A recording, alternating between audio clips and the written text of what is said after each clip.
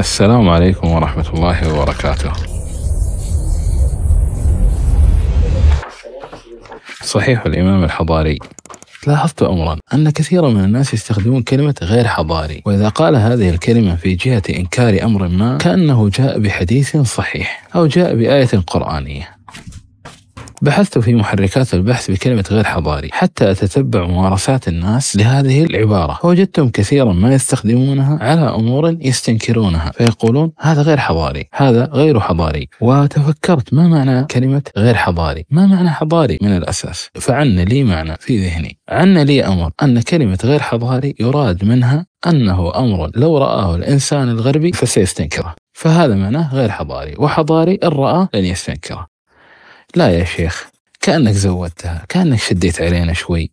لا لا غير صحيح. أقول لك هذا المعنى هو المستحضر في نفوس كثيرين إن لم يكن كل من يتكلم بهذه الكلمة أو غالب من يتكلم بهذه الكلمة حتى لا نكون مبالغين. ولكي يتضح لك الأمر بجلاء قبل أن آخذك إلى الموسوعات الغربية. هل يوجد إنسان يقول لإنسان يأكل بشماله هذا غير حضاري؟ مع أنه أمر محرم شرعا منهي عنه. ليس كذلك؟ لا لا يقولها. لماذا؟ لأنها مقولة في الثقافة الغربية. هل يوجد إنسان يقول عن إنسان ولا يغتسل من الجنابة؟ فعلك هذا غير حضاري؟ لا لأنه مقولة في الثقافة الغربية. هل يوجد إنسان رأى رجلا يمسك بيد امرأة أجنبية ويتمشى معها وعلى التراضي بينهما فيقول له هذا فعل غير حضاري؟ غالبا لن يفعل ذلك. لماذا؟ لأن هذا أمر مقول في الثقافة الأجنبية أو في الثقافة الغربية. بينما الأمور التي يقال عليها هذا غير حضاري هي أمور غير مقبولة في الثقافة الأجنبية. فإن كثيرا من الناس دائما عنده وازع أجنبي داخلي. دائما يتصور أن هناك إنسانا غربيا يعلق له أوسمة أو يؤنبه. إن فعل شيئا جيدا يقول له أحسنت فينتشي وإن فعل أمرا سيئا يقول له أسأت فيراجع نفسه. هذا أمر حاضر في نفوس كثيرين مع الأسف الشديد. وهذا تجده صريحا في كثير من كلامهم حين يقولون آه ماذا يقول الناس عنا؟ في غرب أوروبا وأمريكا خصيصا. طيب في الدوائر المعرفية التي تتكلم في معنى كلمة حضاري يقول الحضاري هو ما يقابل الوحشي أو البربري وهذا عائد إلى استخدام نشأ في بريطانيا يقولونه تجاه الحضارات الأخرى وهو يستبطن تفوقا ثقافيا يعني أن هناك ثقافة هي المرجع وهي الأعلى وهي الأجل وهذه الثقافة الأعلى والأجل ما خالفها يكون غير حضاري لهذا ترى بعض الناس يقول النقاب غير حضاري هذا قاله من؟ قاله رئيس فرنسا رئيس فرنسا لما تحدث عن النقاب النقاب قال أنا لا مشكلة عندي مع النقاب ولكنني أراه غير حضاري. وسبحان الله رأيت بعضهن تقول هذا الكلام. يعني شيء غير مقبول في ثقافتنا الغربية. هذا المعنى هو المحرك الأساسي للكثير من الجرائم الأوروبية التي قاموا بها في أفريقيا وفي أمريكا اللاتينية وفي أستراليا. كما يقول إرنست إرينان قال يعني القتل والكذا والإبادات إذا كانت بين شعوب حضارية متحضرة فهذه جريمة ولكن إذا كان شعب متحضر ضد شعب بربري أو شعب متوحش فهذا كأنك تصطاد حيوانات فهذا لا يكون شيئا غير أخلاقي. هذا معنى كلامه. אין חשמל, אין מזון, אין מים, אין דלק. הכל סגור. אנחנו נלחמים בחיות אדם ואנחנו נוהגים בהתאם. الإنسان الأوروبي اليوم انسلخ من نظرة إرنست رينان هذه ومن الداروينية الاجتماعية. الداروينية الاجتماعية يعني تطبيق مفهوم الغابة والبقاء للأقوى على البشر في المجتمع ولكن لا زالت هناك بقايا. فالفكر الغربي الذي اليوم يحرك كثير من الناس فيه تناقض داخلي لا يدركه كثيرون. يقال لك لا تفرق بين الناس على أساس أديانهم ولا على أساس ألوانهم ولا على أساس ثقافاتهم ولا على أي أساس. بل لا يوجد فرق بين الذكر والأنثى. الذكر والأنثى ما في فرق. هذه كلها فروق اجتماعية. ولكن في النهاية تجد أن هناك تحاكما للثقافة الغربية وأن هي الحضارة وأن الإنسان الذي يخرج عن هذا يعتبر إنسانا ليس متحضرا وعليه أن يخجل من نفسه وعليه أن يبرر موقفه. لهذا دائما هؤلاء الذين إن جئتهم بآية قالوا لك ليس معناها كما تزعم. لا لها معنى آخر. وكثير من هؤلاء صار يتابع شحرور والكيالي بتفاسيرهم الغريبة وإن جئته بحديث يقول لك أنا عندي مشكلة مع السنة. ما هو كل شيء بلغنا الصحيح وتجده يتحمس لأي شيء يطعن به في السنة ويوسوس حتى أنهم يأتون بهذه التجربة التي فيها شخص يسر لشخص آخر بكلام ثم هذا الشخص يسر لشخص آخر. بعدها بثواني والثالث والرابع ثم عند الخامس والسادس والسابع يجدون أن الكلمة تغيرت. فمثلا يقول له النهار جميل فعند الأخير يقول الشمس مشرقة. قد تتحول الأمر إلى هكذا. يقول هذا انظر هذا هو نقل الحديث هكذا. عن فلان عن فلان عن فلان. هذا جهل هم لا يعرفون. أولا نقل الحديث غالبا يعتمد على ثلاث طبقات فقط والطبقة الرابعة يكون فيها عدد كبير وفي كثير من الطبقات يكون عدد يعني أبو هريرة مثلا يروي عنه أربعة وخمسة وستة ثم يروي كلاما ظاهرا أمام الناس جميعا ويسمعه جماعة من الناس ويراجع بعضهم مع بعض ويجلسون يحدثون ثم أن هذا يعضده واقع عملي أصلا فيحدثهم عن الصلاة ويذهبون يطبقون هذا في صلاتهم يحدثهم عن الزكاة ويذهبون يطبقون هذا في زكاتهم ويحدثهم عن كذا وكذا وكذا ثم أنه لا يقبل رواية أي أحد حتى يكون متقنا متثبتا. الشاهد أنهم يحاولون قدر المستطاع بأي طريقة الطعن ثم أنهم بعد هذا كله في قضايا معينة يقيموا الحجة بسهولة بقولهم هذا غير حضاري. انتهى الأمر خلاص جاءت الحجة الدامغة. هذا غير حضاري كأنه حديث صحيح من صحيح الإمام الحضاري.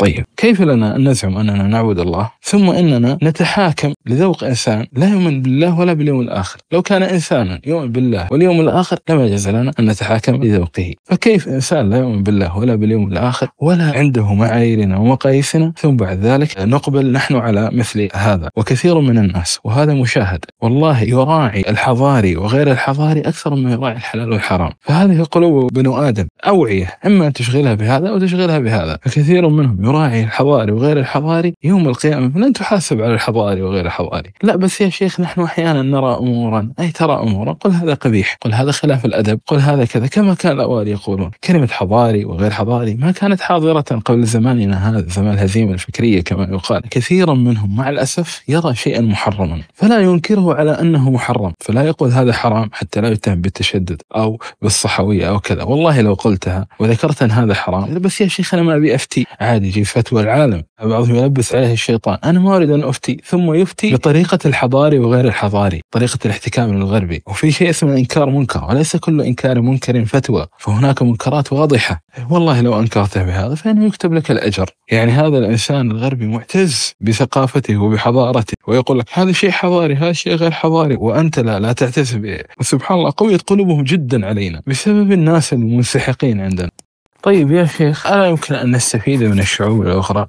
تستفيد منهم في أمر صناعة ولكن أن تقيم السلوكيات الناس وأنت عندك وحي هو الميزان لا يجوز لك أن تتحاكم لغير الوحي فيما يجوز وما لا يجوز وفيما ينكر وما لا ينكر. حتى العرف العرف هذا إذا اعتبره الوحي. فإذا نفاه الوحي انتهى الأمر. واليوم عندنا مشكلة كبيرة كثير منا قلوبهم قلوب العجم لماذا؟ لأنهم تشبعوا من عادات الآخرين. نحن اليوم في حال حرب معهم بشكل واضح. هناك جهتان تتحاربان جهة نحن ندعمها وجهة هم يدعمونها ومع ذلك لا زال كثير منا خاضعا ثقافيا لهؤلاء الناس. ومثل هذه الأمور عليك أن تلاحظها وعليك أن تنبه الناس عليها. فليس أمرا هينا. حتى لو كان الإنسان كافرا بالله ورسوله. طيب أنت كافر بالله ورسوله وعابد لهؤلاء هؤلاء يحددون لك ما ينبغي أن يفعل وما لا ينبغي أن يفعل. هؤلاء الذين يقولون لك الشذوذ ما فيه مشكلة ولكن الزواج قبل سن الثامنة عشر فيه مشكلة. يقولون لك تعدد الخليلات ما فيه مشكلة تعدد الزوجات فيه مشكلة. يقولون لك الإلحاد وجهة نظر ولا مشكلة. يقولون لك زندقة كفر هرطقة سب الأنبياء حرية رأي. ولكن تشكيكه في محرقة اليهود هذا فيه مشكلة كبيرة. ولا يدخل في حيز حرية الرأي. وإلى أشياء كثيرة. ولا نحتاج أن نجمع تناقضاتهم. ولا يحتاج أصلا أن نثبت لأنفسنا أن هؤلاء متناقضون أو عندهم أو عندهم أو عندهم. شيء وحيد فقط ينبغي أن نثبته لأنفسنا. أن هؤلاء الناس لا يرتبطون بالوحي ولا يأتون إلى وحي. فلماذا نعامل كلامهم معاملة الوحي؟ كثير من من أدعياء التنوير إذا أراد أن يسخف من شأن الفقه أو الوحي الذي هو من كتب التفسير أو الفقه يقول هذه نتاج عقل بشري هو نتاج عقل بشري في فهم الوحي الذي هو مفهوم للبشر. ولكنه في النهاية بعد ذلك يحتكم لنتاج عقول بشر ما ارتبطت بالوحي. البتة فما فضله عليك؟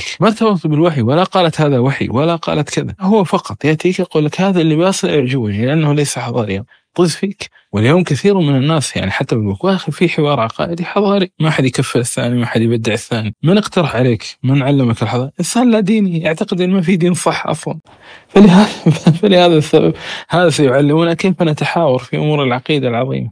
هذا حوار حضاري. لك أن تتخيل أن نجلس ونقول هذا كلام جاهلي جميل. جاهلي جاهلي. رأيت جاهلي هي نفسها حضاري ترى. هو الحضاري جاهلية هذه جاهلية هذا شيء مقابل للوحي. حال لو يأتي إنسان وتريد أن تستزيد منه فيقول لك أريد فائدة ربوية. أبي 3% 4% يطلع معك. ما راح تقول له هذا غير حضاري. راح تقول له هذا حرام. لكنك لو قلت له غير حضاري يضحك. يقول لك كيف غير حضاري؟ كل البلدان المتحضرة تفعل. فكيف هذا؟ فأنت تحتكم لميزان يأتي إلى أقبح القبائح وأعظمها ولا ينكره. ثم يتعامل مع أمور يسيرة مستهونة ويستنكرها وأنت تستنكر لهم تبعا وتقول هذا غير حضاري. والخجل من أن تظهر تدينك في الحديث وفي الإنكار وفي غير ذلك. أو بعضهم مو متدين ولكنه يحاول قدر المستطاع ألا يظهر بصورة متشدد. طالما عندك هذا الهاجس وهذا الوسواس فتنزل قدمك. فكن كما ينبغي.